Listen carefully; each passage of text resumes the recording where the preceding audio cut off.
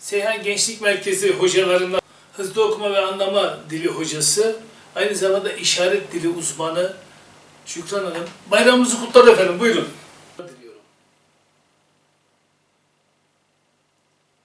Herkese merhaba. Bütün Müslüman aleminin Kurban Bayramı mübarek olsun.